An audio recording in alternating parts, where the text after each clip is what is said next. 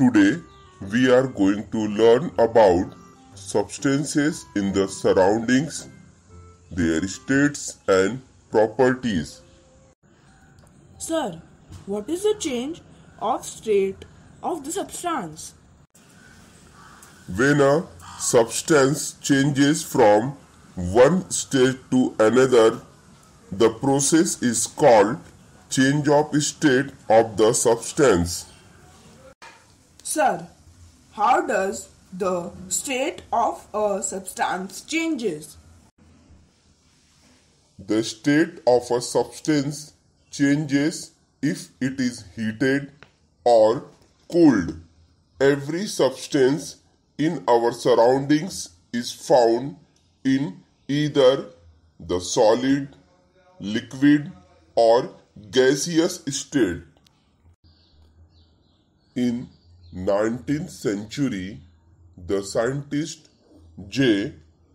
Willard Gibbs showed that the characteristics properties of a substance depend on its physical state and the arrangement of particles in it.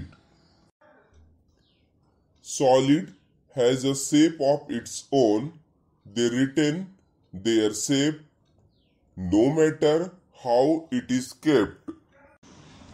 Liquids. They does not have a shape of its own. They take the shape of the container.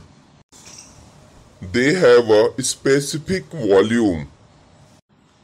They occupy definite portion of a container. They spread on a flat surface on pouring and flows downwards along a slope. Gases. They does not have a shape of its own and occupy all the available space. Volume.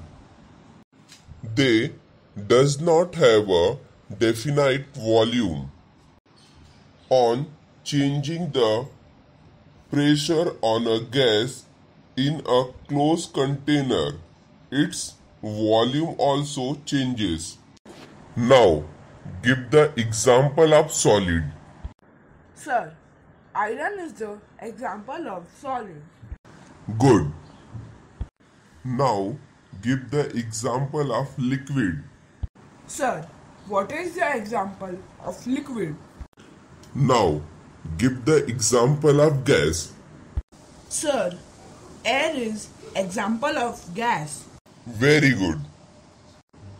Now you know the shape and volume of solid, liquid, and gas.